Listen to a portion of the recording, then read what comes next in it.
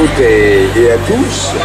Alors comment je suis entré dans Dragon Ball Z Ben, Tous, de toute façon, nous étions déjà comédiens depuis euh, de nombreuses années avant de démarrer les Dragon Ball Z. Si j'avais su qu'Éric Legrand était là, croyez-moi j'aurais refusé le rôle. Mais bon, voilà.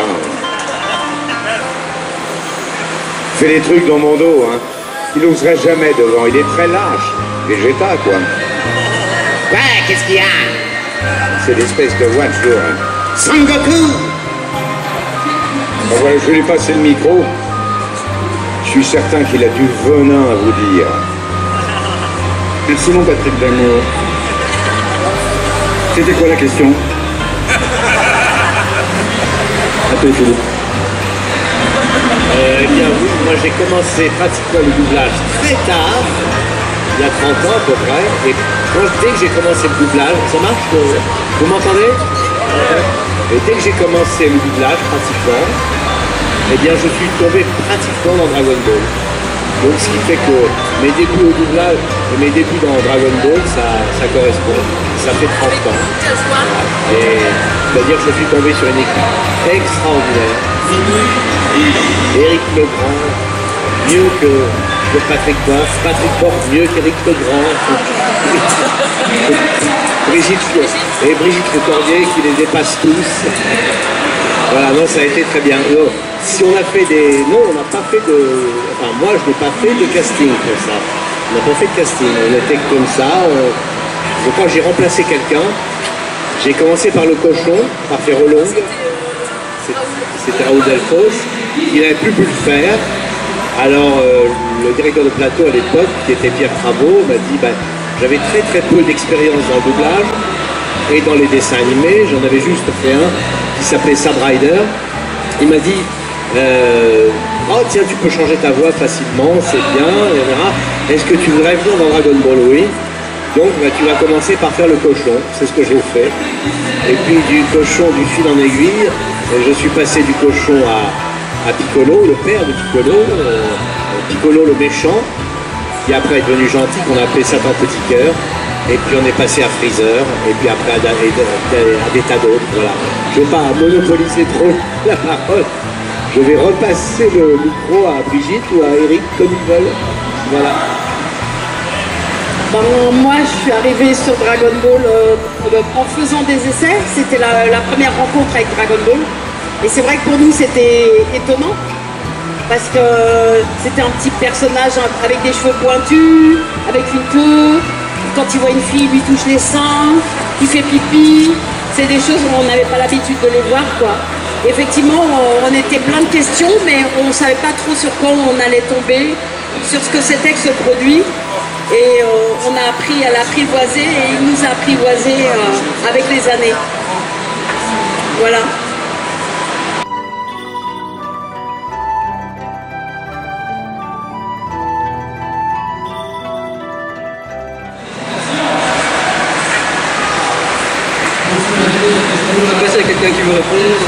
Ou, alors, ou alors vous trouvez, vous trouvez déjà vos personnages parfaits et... Je peux parler de temps en temps. Je sais pas parler.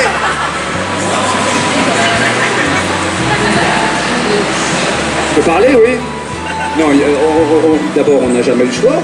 Et en plus, euh, en plus, on ne voit pas les choses avant, donc on ne peut pas savoir quel personnage il y a. Euh, donc on fait ce qu'on nous demande de faire, et puis euh, ça aurait été rétrospectivement, on, aurait, on pourrait se dire, ah, ça m'aurait amusé de faire. Mais non, on est tous contents avec les personnages qu'on a, je crois. Euh, il, me semble, je pas, que vous avez deux choses à répondre Non, rien. Non, n'ont rien à répondre. Aux questions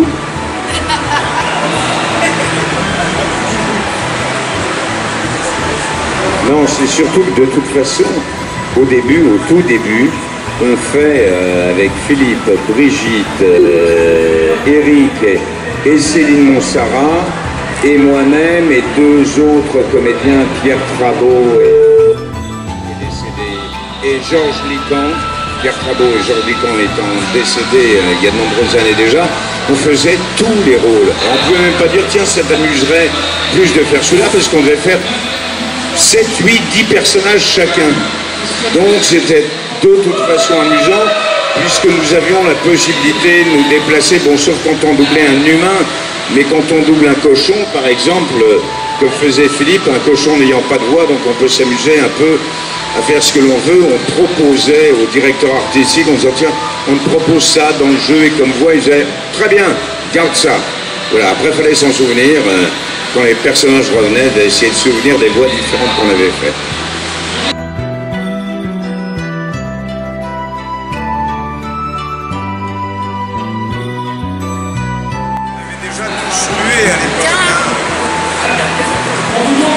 Oui, parce que j'ai commencé à 11h30, donc euh, j'ai mué en cours de route, en effet.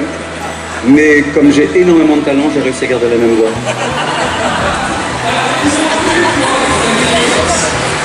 Quelqu'un d'autre une question?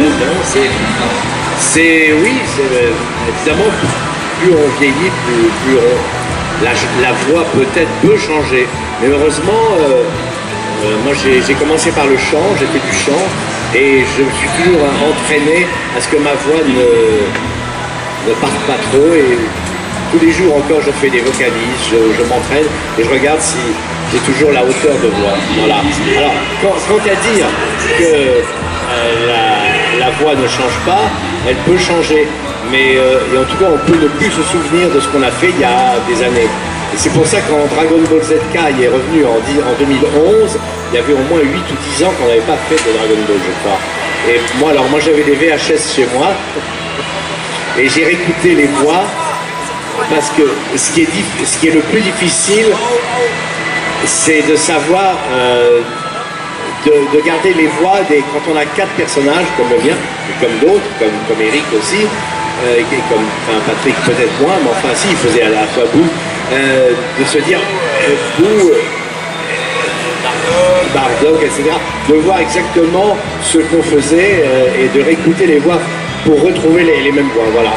Alors, moi, je sais que dans Freezer, ma voix a un petit peu changé aussi, et parce qu'il est devenu Golden Freezer. Et à partir du moment où il y a eu la résurrection de Freezer, comme il y avait beaucoup de, de en même temps, il fallait vraiment les différencier. J'ai un petit peu, je suis allé un peu plus vers l'aigu pour aller pour faire un Freezer qui était chuchoté au départ, qui était un peu chuchoté comme ça. ça. Je suis allé un peu au chuchoteur. Ah, Allez, comme ça pour être un peu plus comme ça pour, pour bien le différencier de Piccolo. Et comme c'était Golden Freezer, ça se euh, c'était plus logique. Voilà.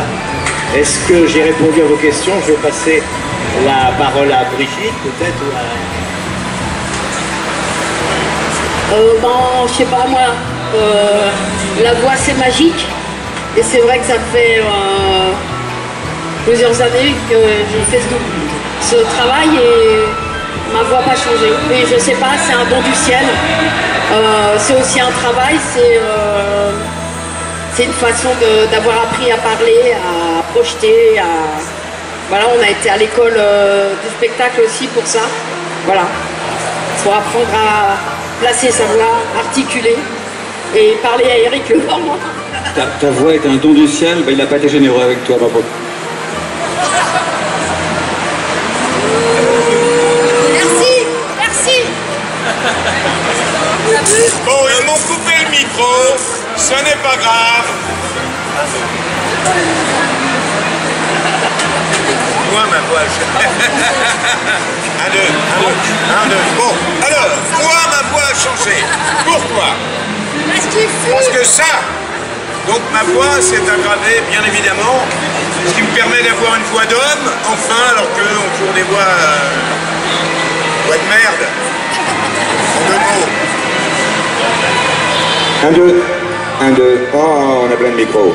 Oui, donc je disais, oui, moi, ma voix a changé, s'est aggravée. Et euh, quand je reprends le Son Goku, j'essaie de le reprendre comme ça, avec la voix que j'avais à 30 ans, mais euh, voilà, ma voix, moi, c'est vraiment aggravée. Ce qui me permet de faire de très jolis rôles qu'ils ne pourront jamais faire. Et on t'emmerde. Je fais encore des petits garçons. euh, Eric, qui a quand même 72 ans, je tiens à vous le dire, parce que il 75, déteste, 75, il déteste l'on braconnière. parle de son âge. Donc je Il vous le un il est refait de partout, faut le les cheveux, ce sont des Il faut, implants. le faire taire est quasiment mission impossible. Donc il ne faut pas lui passer le micro parce que sinon euh, on n'en finit plus. Une autre Je question s'il vous plaît, jeune homme. Merci. Posez vite une autre question. Merci. Mais bien dans le rôle de Vegeta, vous comprenez pourquoi on l'a pris C'est parce que dans la vie, il a Voilà, le caractère de. Vegeta.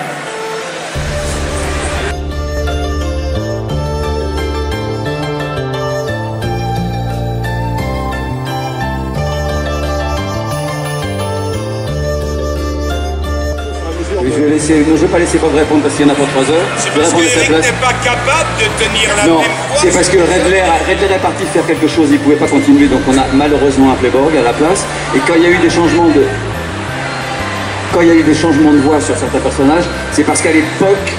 Laisse-moi parler. Oui, tiens. Euh, c'est parce qu'à l'époque, les, les- les- tous les responsables. Non, c'est bon, c'est Hitler, ça va. Arrête de me regarder comme ça, merci. Euh, c'est parce qu'à l'époque, tous les responsables des chaînes, les doubleurs, les doubleurs, quand les patrons, les patrons de doublage, hein, pas les comédiens, les clients, euh, tout le monde s'en contrefoutait. Et le principal, c'est qu'il y ait une voix sur les personnages. Donc quand un comédien n'était pas libre, euh, il mettait un autre comédien, il s'en foutait. Aujourd'hui, ça n'est plus le cas du tout. Donc ces changements de voix étaient dus simplement aux, aux impossibilités qu'on pouvait avoir d'être là au moment de l'enregistrement. Tout bêtement. Sauf au moment de Thierry Dresberg, qui lui, on savait qu'il ne pourrait plus assumer la suite, donc on a appelé Patrick euh, pour, pour le remplacer. Mais sinon, euh. Oui, parce qu'au tout départ, euh, Son Goku, c'est Thierry Redler, qui était un très bon ami, et qui, à l'époque, pardon, euh, a commencé à tourner dans cette série télévisée, dans le Club Dorothée, voilà, les filles d'à côté. Et comme il fallait qu'il apprenne, le il tournait tous les jours, il apprenait le texte la nuit pour jouer le lendemain. Donc il avait vraiment plus le temps. Et c'est lui qui m'a branché avec Pierre Travaux en disant j'ai mon pote Patrick qui pourrait faire le truc. Et Pierre lui a fait Mais oui, oui, ça va être c'est une très bonne idée. avec, parce que Pierre avait une voix comme ça véritablement dans la vie, merveilleux comédien, et qui était aussi, beaucoup ne le savent pas, mais la voix quand même d'un personnage de dessin animé célèbre qui s'appelle Daffy Duck. C'était Pierre Travaux la voix. Et c'était aussi Tortue Génial dans, dans les, Dragon Ball Z.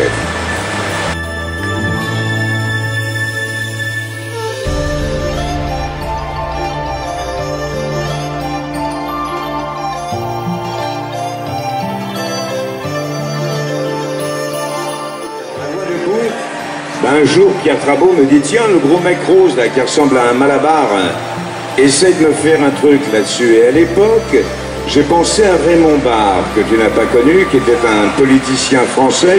Et Raymond Barre, qui parlait vraiment comme ça. Et ça m'a fait marrer. Je me suis dit Tiens, il est gros comme Raymond Barre, sauf qu'il est rose. Et c'est comme ça que j'ai fait Bou, bou, je vais te manger. Voilà, c'est venu comme ça. J'ai proposé ça à Pierre Trabot, il a fait Oui, oui, c'est très bien, garde-le comme ça. Si on proposait des. Voilà une voix en disant Tiens, Pierre, qu'est-ce que t'en penses si je te le faisais comme ça euh, Très bien. Voilà, on proposait deux, trois voix différentes avec un. en conservant le jeu, enfin le jeu, l'humeur du, personnage dans le dessin, puisque il est quand même très difficile dans une musicalité française de se calquer sur du japonais. Les appuis n'ont rien à voir, la mélodie n'a rien à voir de cette langue avec la langue française. C'est pas comme l'anglais où même si les appuis ne sont pas tout à fait les mêmes euh, qu'en français, dans le japonais c'est carrément complètement différent. Euh, ça n'a rien à voir.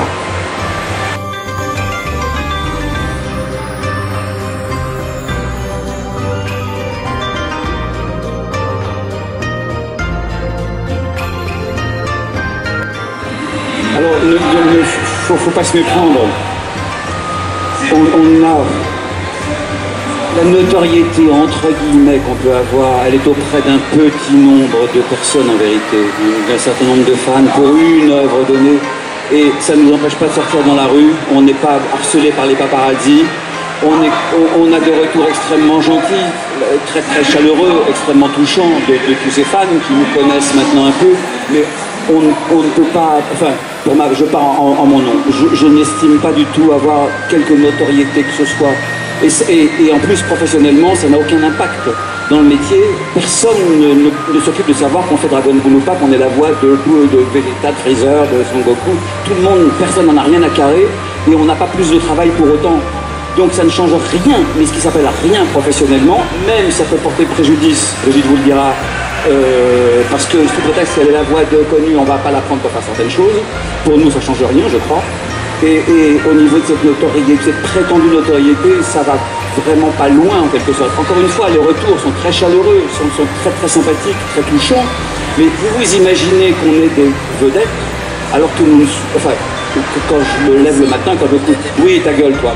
Mais, mais, euh, mais, mais, on n'a aucune, enfin, moi, je ne le ressens pas comme ça, quoi. Je essayer- dans les conventions, oui, ah, vous êtes là, d'accord, très bien. Mais après, on sort dans la rue, ça change rien à rien. Bon, voilà.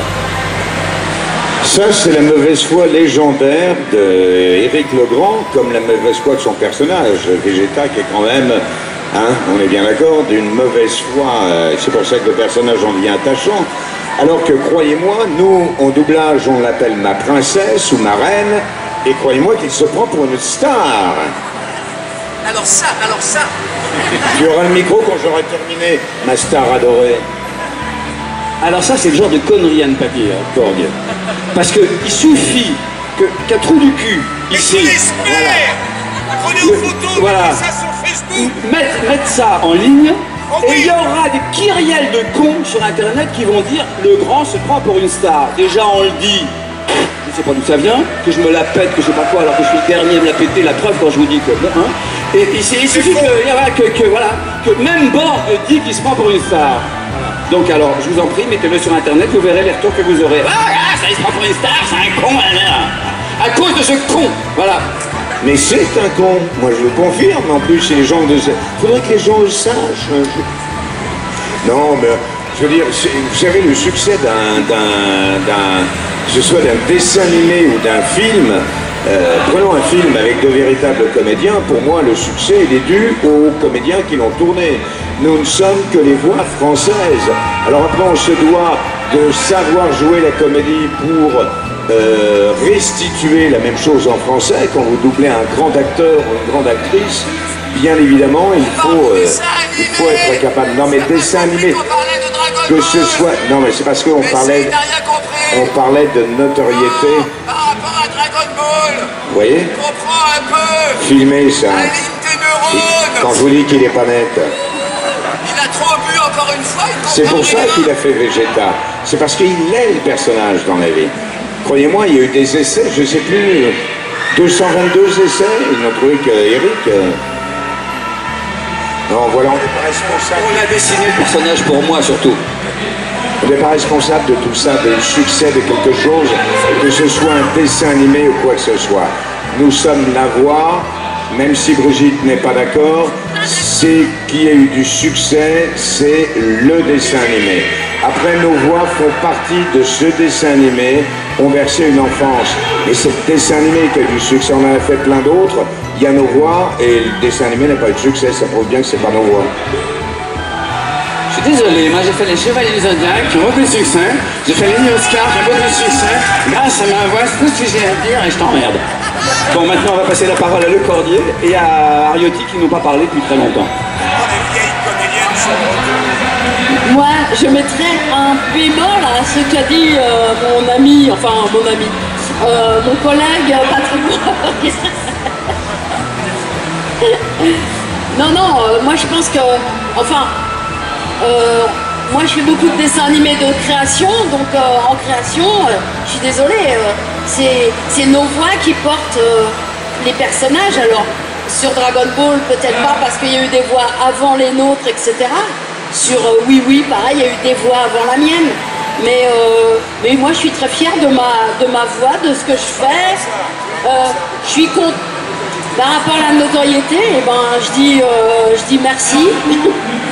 et puis je suis contente et je suis hyper contente surtout d'avoir des fans comme vous parce que on a toujours des gens hyper respectueux euh, qui nous, des femmes qui, qui, quand ils ont envie de faire une photo ou une signature, ils sont toujours euh, hyper respectueux.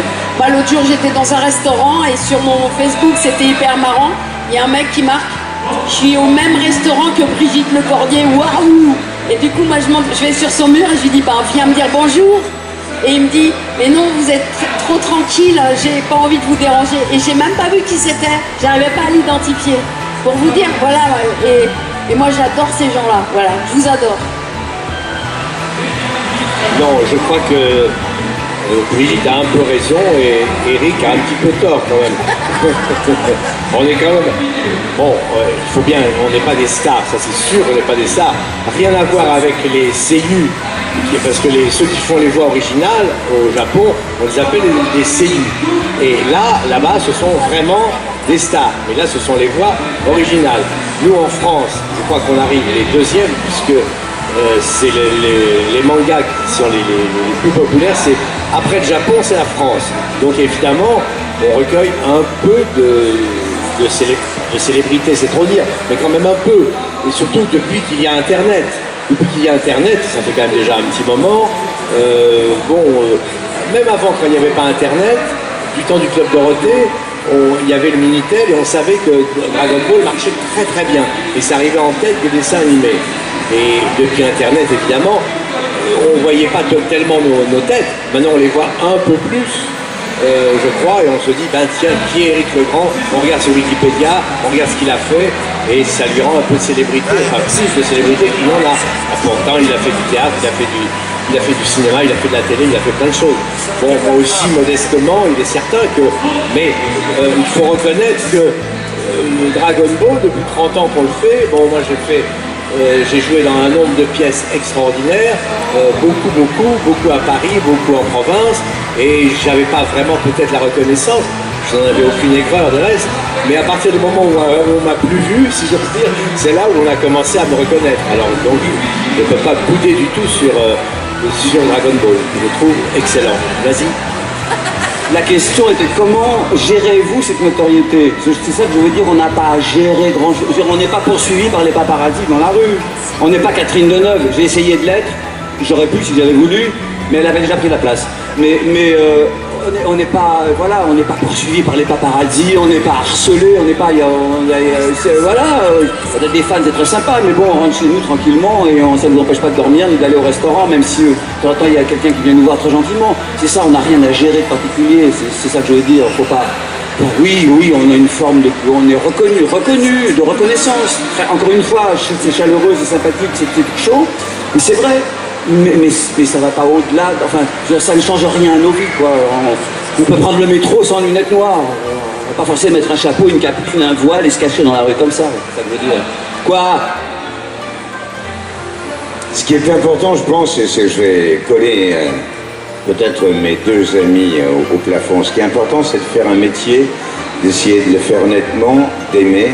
Après, les conséquences star, ça veut dire quoi? Ça ne veut rien dire. C'est être star, ce qu'on appelle une star, c'est quelqu'un qui est dans la lumière. C'est, on parle, euh, c'est ça, être star, c'est être dans les lumières de projecteur. Donc, c'est pas notre cas pour le doublage. On est dans une lumière quelque part parce que nos voix sont devenues connues parce que ça fait 30 ans que ça existe, mais tout le reste après ça n'est que de l'ego pour moi. Mais je suis pas comme les autres comédiens par rapport à ça, parce que j'en ai rien à foutre. Moi, ce qui m'intéresse, c'est de travailler. Le côté, le machin, ensuite, euh, qu'il y ait 10 000 personnes et qui me fassent c'est génial et tout ça, je m'en fous. Après, que des gens me disent j'aime beaucoup ce que tu fais, bien évidemment, ça me touche comme tous les, êtres, euh, autres êtres humains, mais je m'en fous d'être reconnu ou pas reconnu, j'en ai, strictement rien à foutre, pas eux. Mais ça, c'est leur truc, c'est le truc de beaucoup de comédiens. Le comédien a besoin d'être reconnu, d'être vu. Moi, j'en ai rien à foutre qu'on me voit, qu'on me voit pas et qu'on me reconnaisse pas en rue, mais alors j'en ai rien à péter. Eux. Bon, pourquoi pas, chacun son truc.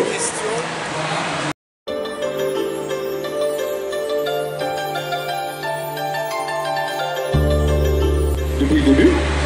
J'ai été remplacé parce que je partais en vacances et qu'à l'époque, encore une fois, euh, il ne s'occupait pas de savoir si on est. me remplaçait sans aucun problème et je l'ai doublé tout de suite. oui.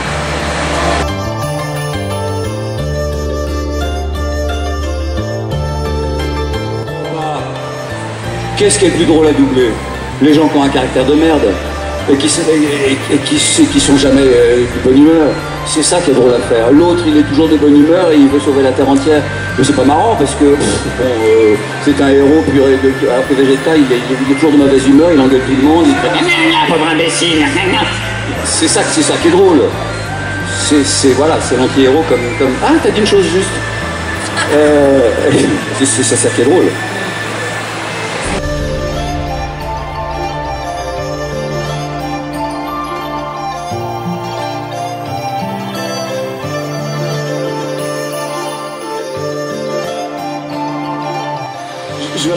Les autres risquent de.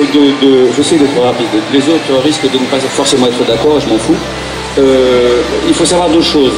C'est que, oui, euh, d'une certaine. ce qui- est important dans nos vies, c'est pas tellement le travail qu'on a fait dessus, c'est toutes les retombées.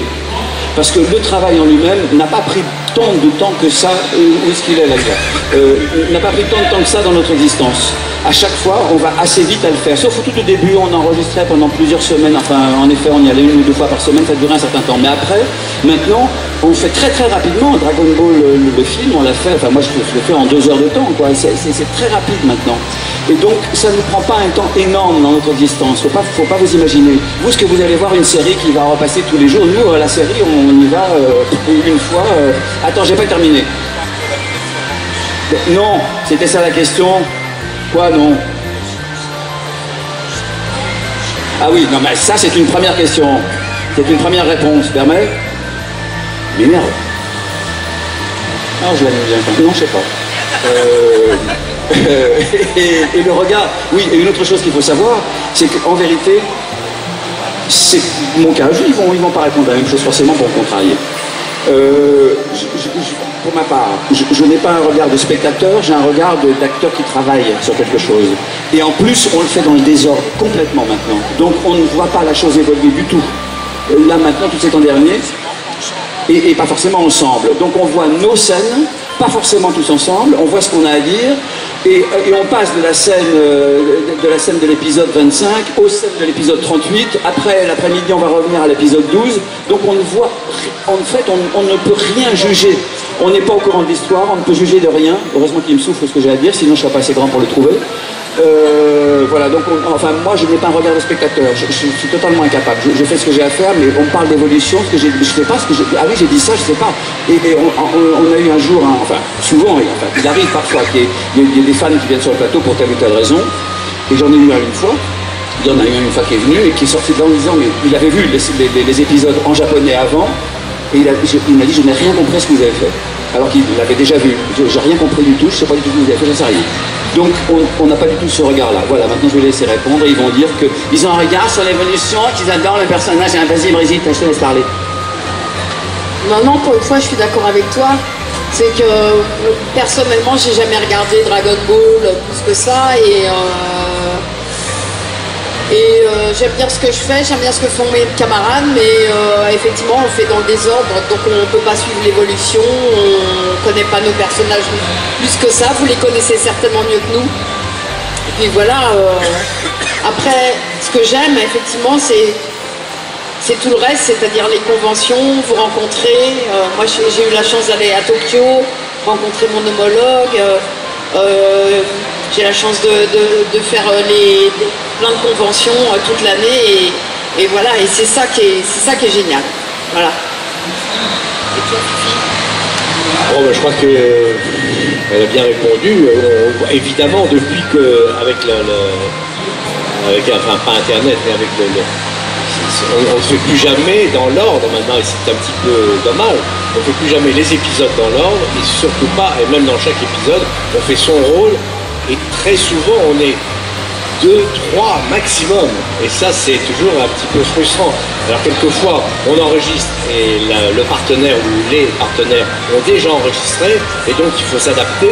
Ou alors, ils pas, le travail n'a pas été fait, il faut le faire en disant Oh oui, ça va être un tel, ça va être Eric qui va répondre à ça, bon, ou ça va être Patrick, voilà, donc il va faire. Et c'est pas très facile. On y arrive, on y arrive, bien sûr.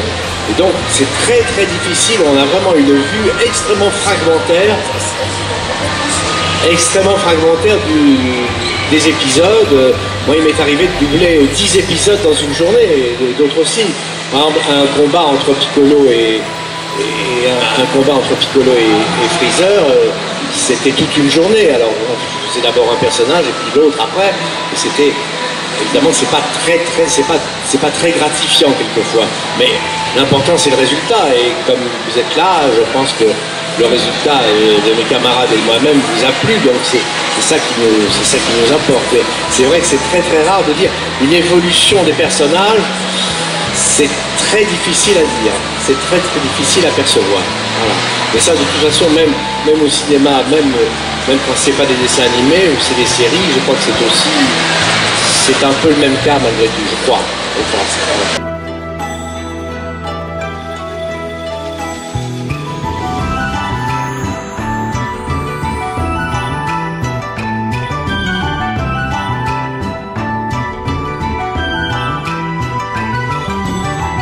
Oh, de dessins animés, c'est difficile. Non, on- d'abord, on les regarde pas énormément, les dessins animés. Ça m'arrive quelquefois, euh, je dis, tiens, bah, tiens, celui-là, je...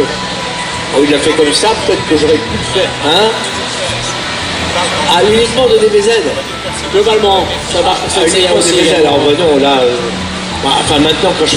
Ça ne viendrait pas à l'idée de dire, oh là là, qu'est-ce que j'aurais été bien dans Vegeta ou bien, ou bien est-ce que... Est-ce que... Est-ce que Pou est épouvantable? Ça ne ça m'arrive pas. Évidemment, je ne le pense pas, mais vraiment, alors là, je crois- ça a été fait comme ça, on a distribué comme ça. Donc pour DBZ, non, je crois qu'il n'y a pas de problème. Voilà. non. Enfin, euh, je pense pas, non, peut-être que. Non, à un moment, par exemple, je crois qu'il y avait un personnage secondaire euh, qui est venu de temps en temps, qui était Monsieur Popo. Je ne sais pas si tu te rappelles. Il avait été question, euh, moi je ne savais pas, Pierre Crabot s'est- a hésité, il a dit, ah, il a dit, ah ben Eric, tu vas le faire. J'ai pas dit, oh là là, oh là là, c'est moi, j'aurais aimé le faire, pas du tout. Mais ça aurait pu être moi. De même qu'il aurait très, bien- pu faire, il aurait pu faire Freezer, et peut-être beaucoup mieux, je ne sais pas. Mais je n'ai pas un regret, je n'ai pas une rancœur éternelle, parce que je n'ai pas fait Monsieur Popo. Voilà. Et je sais que tu étais tellement content de le faire. voilà. Euh, bon, de même que j'ai fait Babidi, euh, j'étais très content de le faire parce qu'Éric Legrand m'a dit tu es très bien dans Babidi. Alors, quand Éric Legrand me dit que je suis très bien dans un rôle, évidemment, c'est que je suis formidable. Voilà. Oui, tu m'as dit ça. Tu m'as dit ça. tu m'as dit ça. J'a- J'avais bu ce jour-là.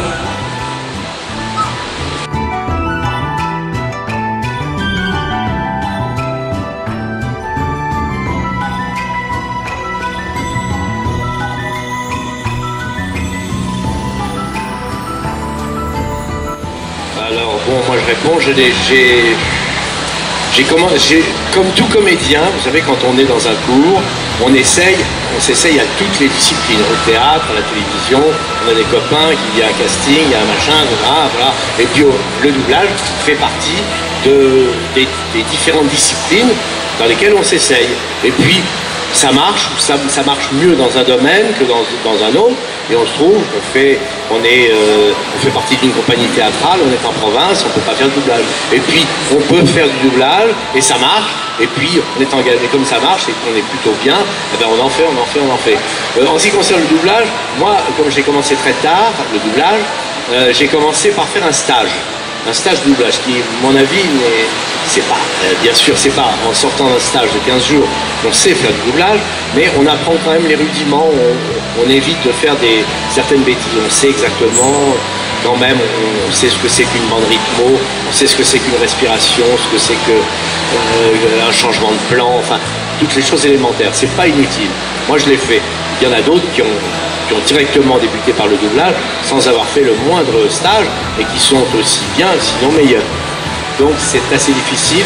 Moi, euh, enfin, moi je parle de mon cas précis, j'ai commencé le doublage très très tard. Mais j'avais comment, quand j'ai pris des cours de théâtre il y a très très longtemps au départ, j'avais essayé, je crois, euh, il y a très longtemps de faire. Et puis il s'est trouvé que j'avais un engagement en province pendant six mois, donc j'ai oublié le doublage. Et puis euh, j'aurais pu en faire peut-être à ce moment-là. Et puis la, vie a fait que j'en ai plus fait. Et j'ai, pas eu l'occasion d'en faire. J'en ai refait très très longtemps après. Voilà. Alors, moi, j'ai commencé le doublage par euh, hasard, en fait. Euh, moi, je viens du cirque, en fait. J'ai été un petit clown, si je suis un petit peu encore. Et, et du coup, on est venu me chercher au cirque pour euh, passer au théâtre, pour jouer des petits personnages. Et notamment, je jouais Louison dans le, Malade Imaginaire. Et euh, en fait, je suis tellement petite qu'ils ont cru que c'était un enfant parce que j'avais la voix qui allait avec. Et ils cherchaient une petite fille à l'époque pour faire une pub pour Amnesty International. J'ai fait cette pub et là, euh, il y a eu une déferlante où on a dit Ah, il y, y a une fille qui est géniale qui fait des voix d'enfant. Et j'ai commencé petite fille et j'ai fini petit garçon. Voilà. Et toi, Eric je, euh, après avoir passé mon bac, j'ai fait un an de cours d'art dramatique privé. Euh, à l'issue de cette année, je me suis présenté au Conservatoire national supérieur d'art dramatique, je me la pète, et été reçu, donc suis rentré au conservatoire. Il se trouve, je, dis ça parce que mon professeur de cours d'art dramatique privé était aussi professeur au conservatoire. Et lorsque j'étais au conservatoire, euh, ce professeur, euh, qui me connaissait donc depuis un certain temps, m'a envoyé, grâce à lui, j'ai commencé à enregistrer très vite, j'étais encore élève au conservatoire, des dramatiques à, à la radio, en tant que comédien. Et donc j'ai commencé très jeune à enregistrer, à travailler à la radio avec ma voix devant un micro. Je suis sorti, donc je me suis mis à faire beaucoup de radio. Je suis sorti du conservatoire, j'ai travaillé, j'ai joué au théâtre, j'ai tourné, tournicoté pour la télévision, j'ai fait un certain nombre de choses, et, je ne faisais pas de doublage du tout. C'est limite si je savais que ça existait. Je suis allé voir une fois ou deux sur un plateau comment ça se passait, et puis bon, je n'avais pas insisté parce que le directeur artistique m'avait couru derrière, ça m'avait pas forcément plu, donc je n'avais pas insisté. Mais il se trouve, je parle de la radio pour ça, qu'à la radio, je travaillais déjà beaucoup, donc depuis longtemps, j'ai expliqué pourquoi, euh, il y avait un réalisateur de radio qui me disait souvent, oh là là, ta voix ressemble beaucoup à celle de Jean-Pierre Leroux. Jean-Pierre Leroux, c'est un comédien qui faisait déjà du doublage. Et à Jean-Pierre, il lui parlait de moi en lui disant, Eric Legrand une voix qui ressemble à la tienne. C'était pas spécialement flagrant, mais en tout cas, c'était pas faux non plus. Et il se trouve que Jean-Pierre a été appelé pour doubler un film dans lequel il y avait deux personnages qui étaient des sosies, qui étaient joués par le même comédien. Et en français, le doubleur, le patron de boîte de doublage donc, je précise, a eu l'idée de donner deux voix différentes, mais proches. Et il a engagé Jean-Pierre pour l'un des deux rôles. Et il a demandé à Jean-Pierre est-ce que tu aurais une idée pour l'autre rôle, une voix proche de la tienne? Et Jean-Pierre, tout naturellement, a dit bah, Eric Legrand, parce qu'il entendait dire que j'avais une voix qui ressemblait à la sienne. Donc le doubleur m'a appelé. Donc le téléphone a vraiment sonné chez moi, m'a dit vous viendriez faire un essai? Bah euh, oui, je suis allé faire un essai, ça a été concluant et j'ai été engagé, j'ai commencé d'une manière totalement atypique bah, par la moitié d'un rôle principal. Et ça a collé et je me suis mis à en faire à partir de là, voilà. Donc c'était le hasard, si que le hasard existe. Moi, j'ai commencé euh, différemment. J'étais d'abord très jeune. J'ai commencé par le théâtre et ma première pièce de théâtre, euh, j'avais 10 ans, en 1967. Oh, dis pas ton âge. Et monsieur, moi, moi, je peux dire mon âge, j'ai honte de rien. Je suis pas une vieille coquette comme vous, mon cher ami. Et donc, euh, et là, dans cette pièce, je jouais avec Fernand Sardou, le papa de Michel Sardou, et, mon père, bien évidemment, j'étais un enfant, donc venait me chercher au théâtre euh, le soir. Et Fernand Sardou a dit à mon père, tiens, je connais euh, des gens qui ont une société de doublage et qui cherchent des voix d'enfants puisqu'ils ont une série qui s'appelle Flipper le Dauphin, la toute première série. Et donc il y avait le père, la mère et les deux enfants, et je faisais un petit guest qui était revenu dans plusieurs épisodes. Et ce qui été amusant, c'est que les circonstances de la vie, 35 ans après, euh, oui, 35 ans après, ils ont fait une nouvelle série sur les flippers le dauphin et, et là j'ai fait le père. Je fais tiens, la roue a tourné. voilà, le temps a passé. Donc j'ai commencé en 1967 mon premier doublage, donc bien bien avant eux, parce que j'étais gamin, quoi, tout simplement.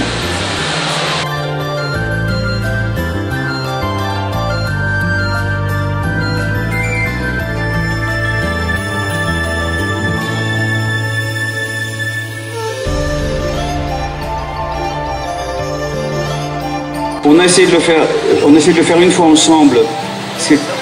Non, on l'a fait une fois ensemble et c'était très contraignant parce que à se forcer à parler sur le même rythme que l'autre ensemble, ça, ça- ça finit par donner quelque chose de très droit. On n'arrivait pas à le jouer. Donc on a décidé, souviens-toi mon canard, de l'enregistrer séparément. Donc on a commencé par Patrick, qui l'a enregistré. Et après, moi, je suis passé derrière en écoutant ce que Patrick avait fait et j'ai refait sur ce qu'il avait fait. On n'a pas fait l'inverse parce qu'il aurait eu trop de mal à re- recopier ce que je faisais.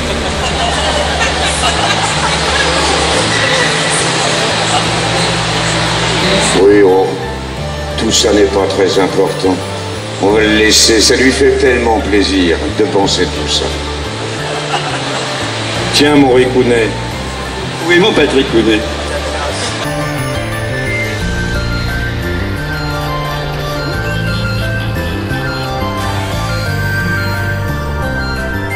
allez, vas-y. Je vous en fasse un, un Kamehameha Allez. J'en